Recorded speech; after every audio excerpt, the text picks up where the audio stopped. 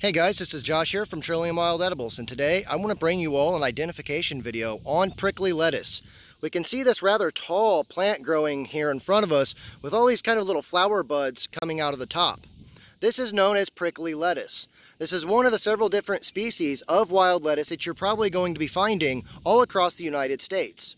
This is an extremely easy plant to identify, and it does have some great medicinal uses that we're going to be talking about with this plant. Now this time of year, around from April, May, all the way through August, you're probably going to be noticing this very tall plant with these very distinct flower buds coming up out of the top here.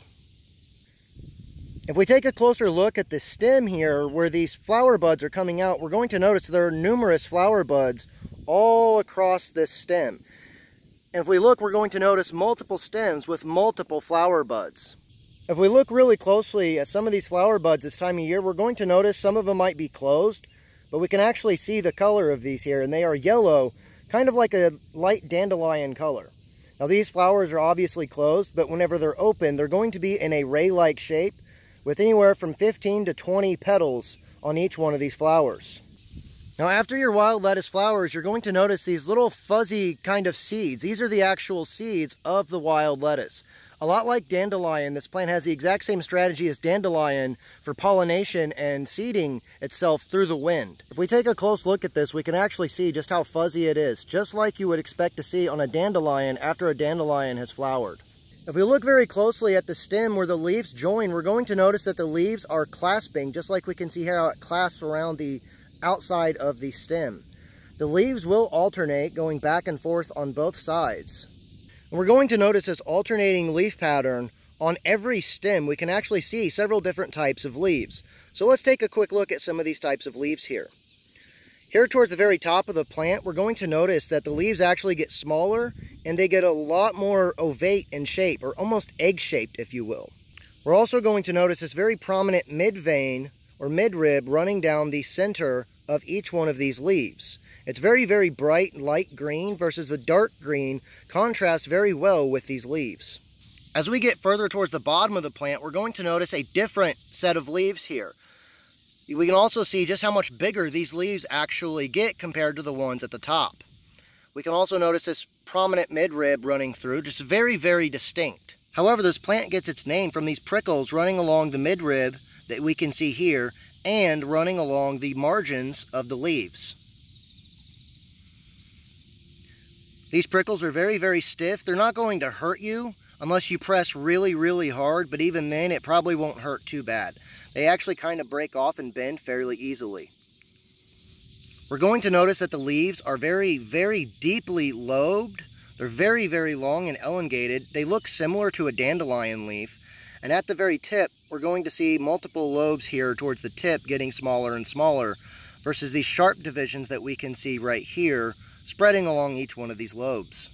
As we continue to go up the plant from the ground, we're going to notice a whole lot of leaves coming out. And remember that alternating leaf pattern that we discussed.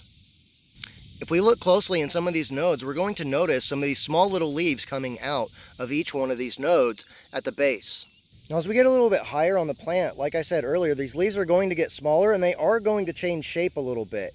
You can see there's not near as many lobes on this one as there is on the basal leaves. So make sure you keep that in mind. Now this is a lactuca species, which means it's known for this lactating quality. If I were to pull this leaf off, if I pull that leaf off, you can actually see this milky latex-like sap coming out of it. Now this sap actually has a lot of medicinal uses as being a good pain reliever. So make sure you keep that in mind. There are several different parts of the wild lettuce plant that you can use for food or medicine.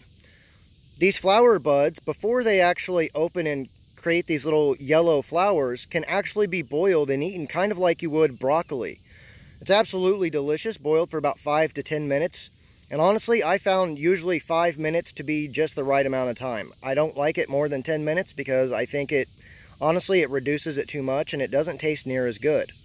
So make sure you keep that in mind to not overboil these flower buds. You might notice after touching it and getting that sap on you that the sap is kind of sticky. You can see the sort of sticky nature on my fingers here. That stickiness of the sap can actually be used to help peel off warts slowly over time. So if you were to have a wart on your finger, you could actually apply some of this sap to the wart and then peel the sap off and eventually over time the wart will come off. This doesn't work on every wart, but it is possible. Now if we look here, we can actually see one of the younger prickly lettuce plants that's growing in this area. And we're going to notice a little bit of a variation, not only in the leaves, but also on the stem. If we look at the stem on the younger plants, we're going to notice these spines running along the length of the stem. We can see those little spines along the margins of the leaves and on the midrib as well on the top of the frame. Now if we look at the base of this younger prickly lettuce plant, we're going to notice that the leaves actually look a lot different.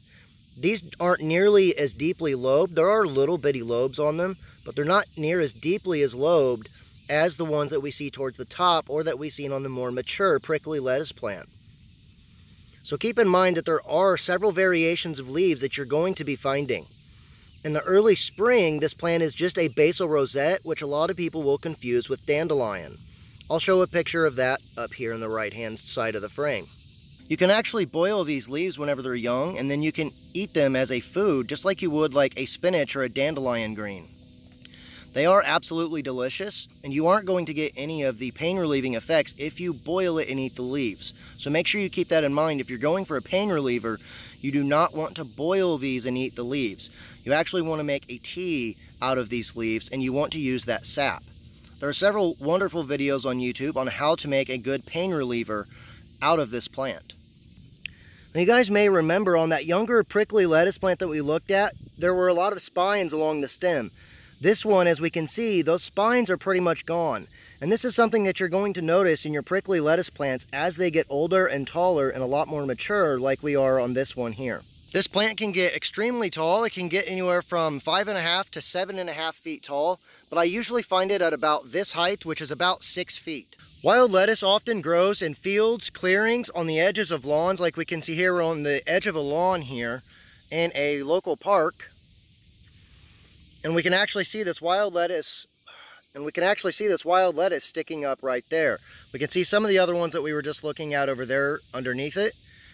And we can see this normal, this is the normal type of environment that you're going to be finding your wild lettuce in. If we look here in front of us, we can see another really tall wild lettuce plant.